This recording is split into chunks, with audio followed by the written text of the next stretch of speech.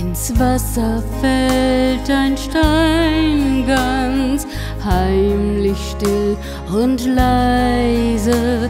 Und ist er noch so klein, er zieht doch weite Kreise, wo Gottes große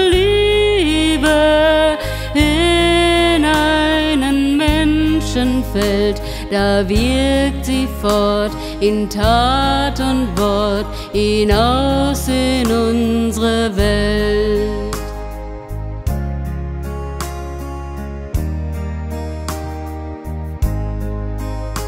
Ein Funke kaum zu sehen entfacht, doch helle Flammen und die im Dunkeln stehen, Schein zusammen, wo Gottes große Liebe in einem Menschen brennt, da wird die Welt von Licht erhellt, da bleibt nichts, was uns trennt.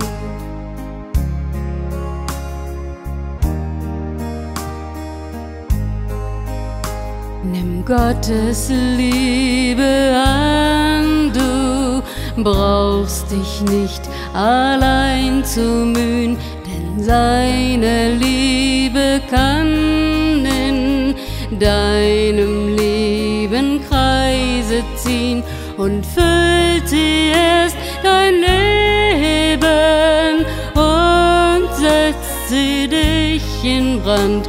Gehst du hinaus, teilst Liebe aus, denn Gott füllt dir die Hand.